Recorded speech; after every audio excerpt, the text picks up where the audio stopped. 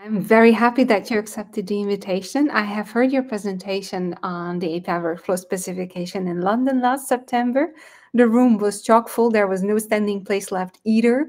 So I'm really hoping that we can spread the word because I saw I saw a lot of fantasy in uh, fantasy. I mean, a lot of potential in what you were uh, what you were saying. So I'm thank you very much for for uh, showing it to us here.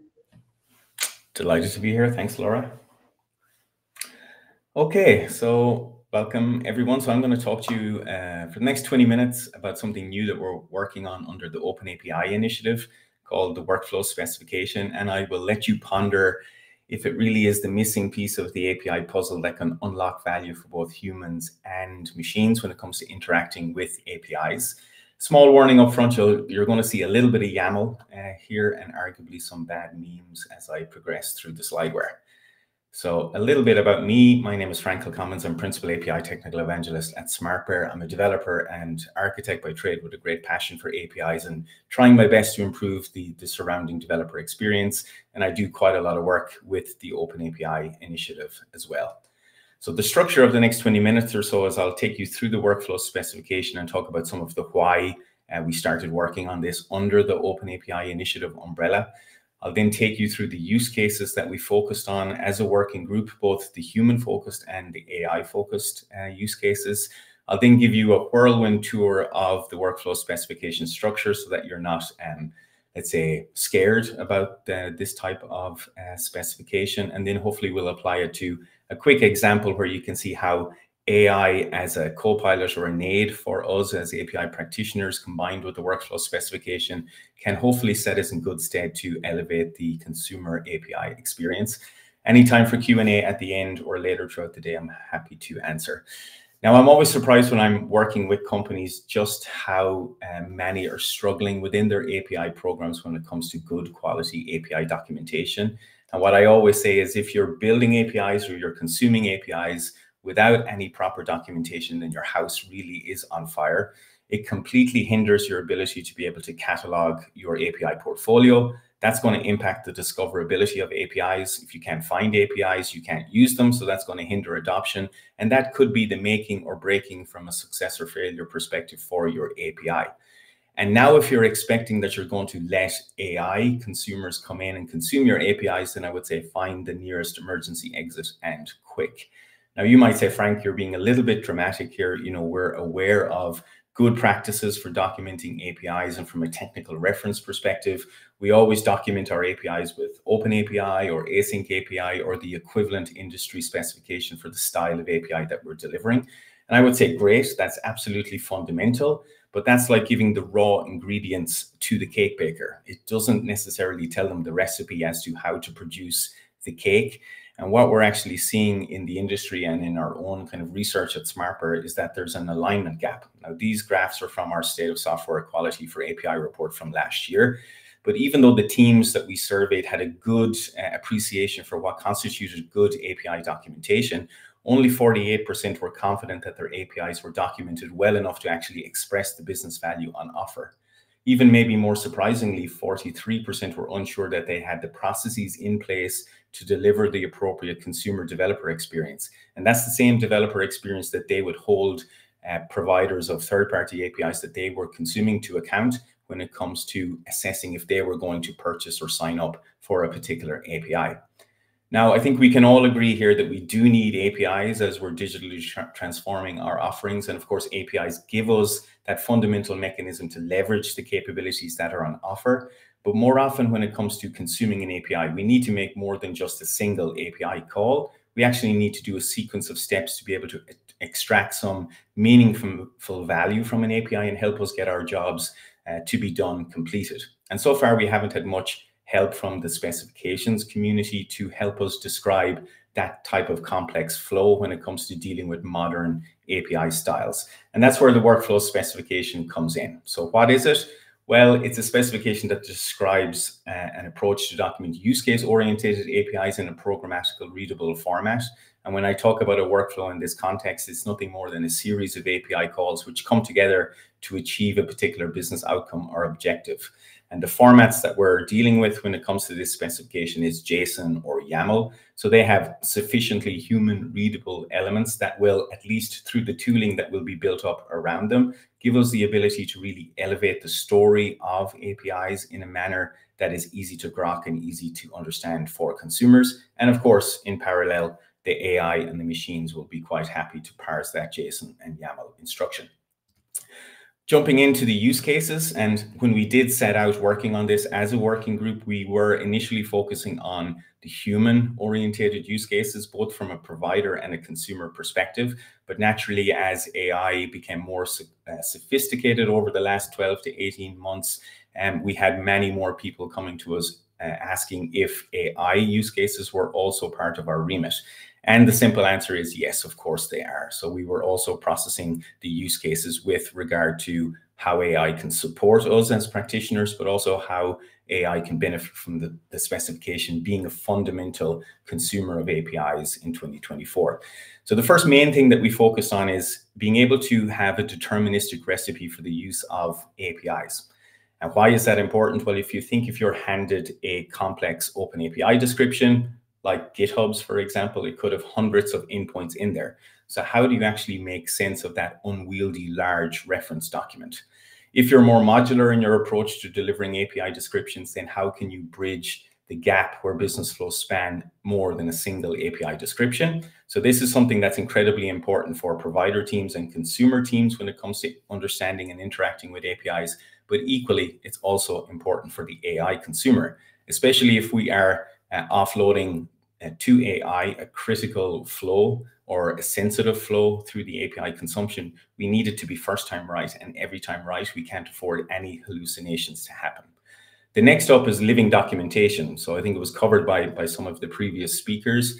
API documentation, in, in my mind, is more than just the technical reference documentation. It's also things like concepts, things like tasks and scenarios that can really help us understand what value we can extract from the APIs and I think we're all also aware of the current uh, situation, especially for API provider teams who maybe don't have dedicated technical writers or a less mature setup. Then the likelihood of out of band documentation being shared with API consumers is more prevalent.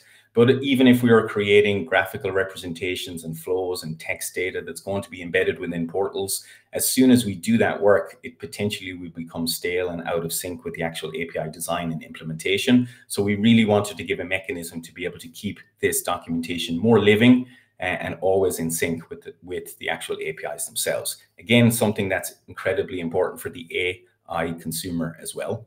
More on the human-centered side, then we also wanted to improve the ecosystem around code generation and SDK generation, because again, if you're dealing with a very large, unwieldy API document, then the code that gets generated from that is going to be equally large and unwieldy. And you're going to get a lot of boilerplate noise that you're not necessarily interested in. But by generating uh, an SDK or code off a specific use case oriented workflows document, you will have a very focused uh, SDK that will keep the consumer on pieced and focused on extracting the value as quickly as possible, and they won't be distracted by any endpoints that are not uh, relevant.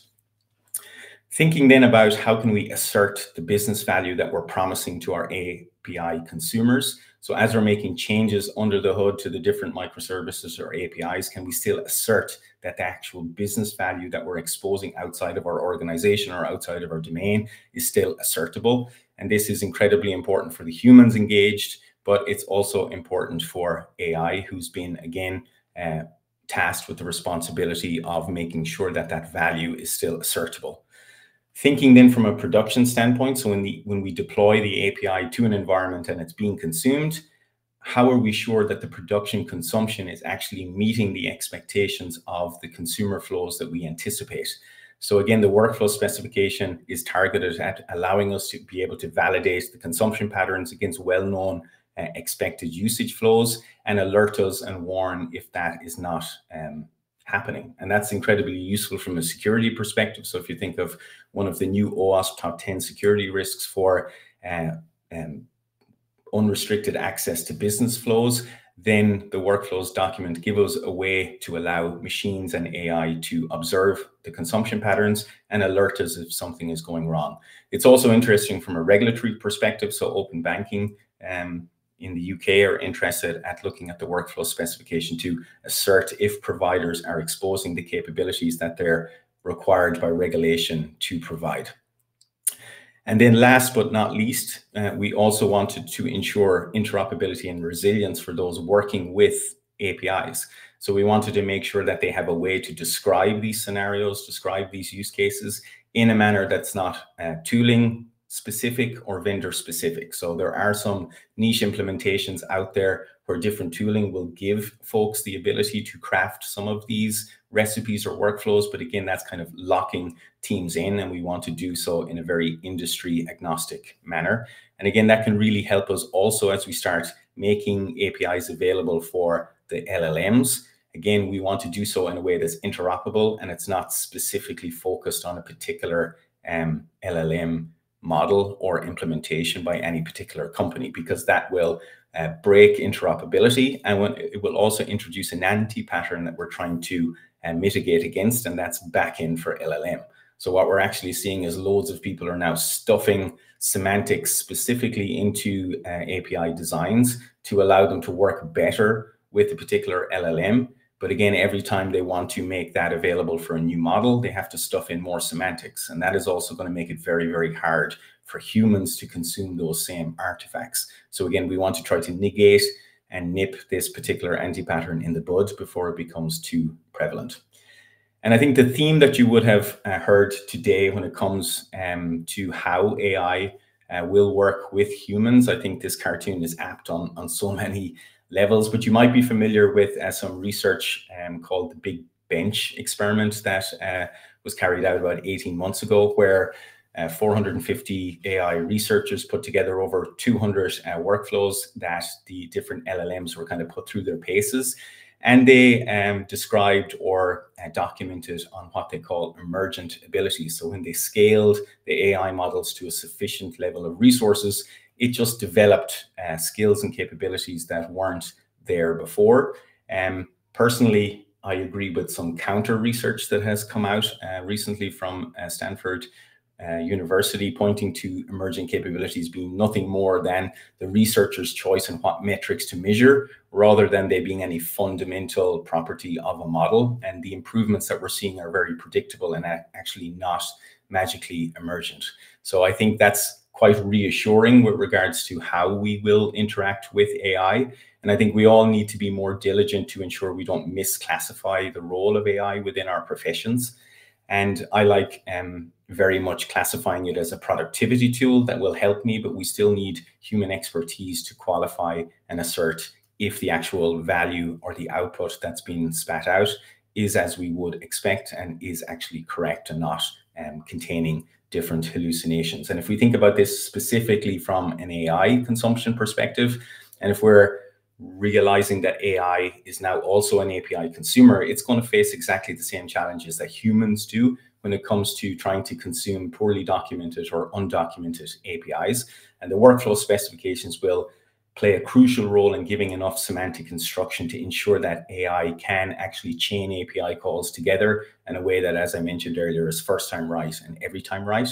And then when we think of AI as our companion or as our aid to help us be more pro productive, hopefully, then we can also leverage the workflow specification as being the glue that will allow us to kind of fast track our ability to produce an experience for API consumers, and that's human consumers, um, in a manner that will allow them to extract the value from the APIs on offer as quickly as possible.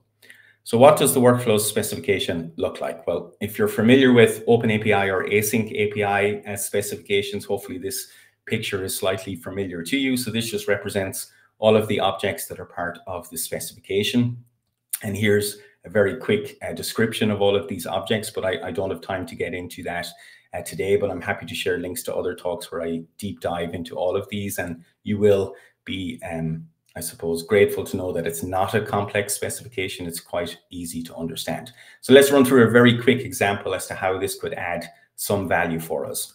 so let's assume that we're working for a company called Petco and we have a problem that we have to solve. So unfortunately, we're being overwhelmed by the number of pets being abandoned in our pet store. We've done our industry uh, research and we've decided that we're going to create an ability to uh, search for and adopt pets that we catalog through our own website. But we're going to also make it available as an API product uh, to a broader ecosystem of pet shelters uh, and charities and so forth. So what does that mean? Well, it means we build two APIs within our company, a pets API and an adoptions API.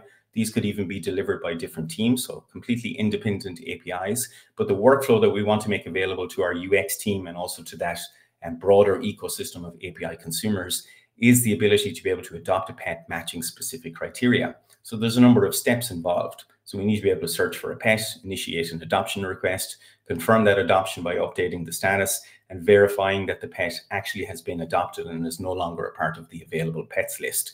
Now, the workflow specification gives us very rich semantic mechanisms to describe exactly how to achieve this workflow. So there'll be no more guessing as to what combination of endpoints we need to uh, put together.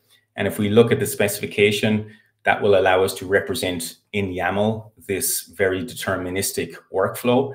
But again, as I mentioned at the outset, this might be perfectly good for AI, and it is actually perfectly good for AI to be able to get this API workflow done every time right. But for humans, you may all not enjoy parsing YAML quite as much as I do. So the real affordance will be when tooling will be built up around the specification to turn this into living documentation. So then this type of YAML can actually generate more human palatable information that will allow me as an API consumer to fully understand what I need to do to embed this particular uh, workflow into my own system. And just for the fun, for uh, this conference, I put together a little GPT to, and I trained it on uh, the workflow specification to see how it would act as a as a support to me working with the specification to generate consumer uh, API documentation. So I'm just testing it out here on a on the specification itself. And then what I do is I give it the URLs to those two API endpoints and I tell it the, the tasks that it needs to be able to describe in the workflow, some additional instruction just to keep it on pieced. And it does a pretty good job at generating a workflows and document conforming to the actual workflows specification. Of course, as a human, I challenge it a little bit more because I would never fully trust AI to get it right for me. So I challenge it a little bit, direct it, and and the second pass, it does a pretty good job at creating the um, workflows document that it would want. So I take that as my 80% done document, and then I uh, tweak it a little bit more. And then I pass that back into uh, the GPT and I say, now generate me some um, getting started guides with the spe specific instruction template that it has. So it generates some markdown tables breaking down all of the tasks and it generates some um, graphs representing the actual workflow. And if we look at how that would look like in a developer portal, doesn't matter what developer portal, this just happens to be Sw um, Swagger Hub's portal, but it could be any developer portal. I have an adopt pet product. If I jump into that, I have my pets API, I have my adoptions API, and then this is the getting started guide that I was able to uh, quickly generate uh, leveraging the GPT that had been trained on the workflow specification. So it gives me a summary of what um, the work workflow is all about. I also have asked it to just generate some metadata about the workflow itself. It breaks down all of the steps into an easy to kind of process table with the step IDs, the descriptions, the operation in the APIs that's going to be responsible for that, the parameters I need to pass, what determines if it's successful, and what outputs will be returned by that step and made available for the next steps. I also asked it, as, as you saw, to generate some graphical representations of the workflows. So you can do that in different um, formats and then offset that and pass it into a tool that can generate the rendered version of it for you. I took it a little bit further then and also asked it to generate some client code for me um, representing the workflow. So again, this is just not an A to Z listing of uh, client code. This is a client code to actually execute that business outcome of adopting a pet. And it did a pretty decent job at uh, creating a TypeScript um, client, uh, which went through the steps of searching for available pets, uh, getting the first uh, pet matching that criteria, initiating the adoption request and updating the pet status, confirming that the pet status then had been set to adopted and doing all of the, the methods underlying. So this is just a sneak peek as to the potential that the spec specification combined with AI can also do on the flip side of us producing better human-centered API documentation, which is one of the, the situations that I'm um, very excited about. Just going to go back to the slides. So what is the status of the specification? Well, the implementer draft is ready for launch. So we're updating the OpenAPI's website and we're launching the new specification uh, any day now, really is that close. We are going to do a bit of a marketing exercise to come up with a more catchy name than just the workflow specification. So stay tuned for that.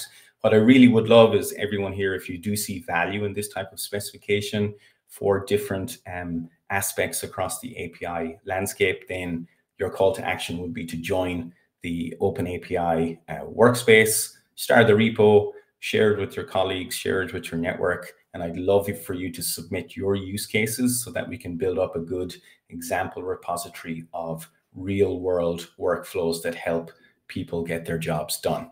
If you do want to learn more, here's the links to the GitHub repositories. As I said, this is all happening uh, under the Open API initiative, which is part of the Linux Foundation. So it's all open source, it's all vendor neutral, and hopefully you will be seeing a rich uh, ecosystem of tooling being built up around this specification in 2024. So thanks very much. If you do have any questions, feel free to ask or feel free to, to reach out to me and I'll be around the lounge uh, later today as well. Frank, thank you very, very much. Um, and you forecame the question that I wanted to ask what kind of contributions you're looking for. So uh, there people can find it. Would you be willing to uh, still repeat some of those uh, links uh, in, yes. in the chat? Thank yes, you. Yes, I will, of course. Yeah. And you have one, two questions, sorry. Uh, would users want to generate their own use cases on the fly using API?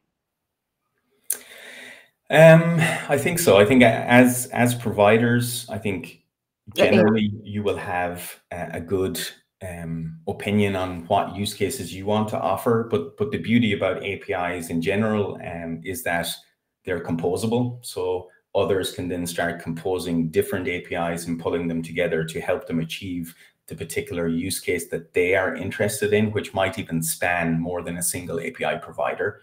Um, so the workflow specification also allows people to craft those things on the fly. So it will add kind of like Lego building blocks, lots of mechanisms for us to assemble API products and value propositions much, much quicker and having a richer uh, ecosystem of value focused uh, API products. So this is uh, one of the things I like about this specification is it has lots of different perspectives and layers that will bring value to APIs, both on the technical aspect but I'm also particularly interested in the affordances that it will bring in helping consumers um, achieve their jobs to be done as quickly as possible. At the risk of sounding really stupid, I have this wild idea that we're gonna we might soon come full circle where instead of requesting a single key as access, you're gonna request approval of your use case yes. business to business. Yes, I, I, I would think so, and, and and even there's interest in that from a from a regulatory perspective as well. Um, and I think I mentioned it very very briefly, but um, open banking is one of the the industries that want to define uh, the, the the regulatory workflows that they expect to be honored by the different um, financial providers. But you can imagine um, that that would even go further and there could be a, a marketplace of um, workflows or scenarios that you want to make available to to the different consumers. Um, and that's for me that's more natural as to how people will want to search for apis so you will have a particular problem or a particular use case that you're trying to solve. And if you're able to um, browse and see what um, what published workflows are out there supporting that particular use case, it's a more intuitive way for you also to to help um, discover and locate those things rather than searching for a specific API document, for example. Mm-hmm, mm-hmm. And again, it's it's in a way that is um, semantically understandable for for the machines. And Chris in the last talk was was talking about how we can make the documentation more more findable for LLMs and and even SEO. But I think even thinking about the workflows, so I can imagine that we'll have workflow registries that are popping up, and then that will be very very easy for the machines to to hook into, classify and uh, catalog those things and surface them as people are um, trying to scratch a particular itch uh, or solve a problem that they have. Uh, then it will be surfacing these workflows to them and then they'll be able to understand okay well what apis and what providers under the hood are, are offering these capabilities and make a um, make a decision on on the procurement of those things in a way that makes sense for business stakeholders which i think is also interesting mm-hmm. Mm-hmm. as soon as we start talking about apis in those c-level meetings if we're looking for for procurement uh, dollars it becomes a technical discussion. But if we can talk about, okay, these are the use cases and the scenarios and the outcomes that we will achieve by procuring this particular um, capability, it's it's much much easier to have that conversation with the with the buyer persona that's that's in your org as well. Mm-hmm. Absolutely, absolutely. Thank you very very much.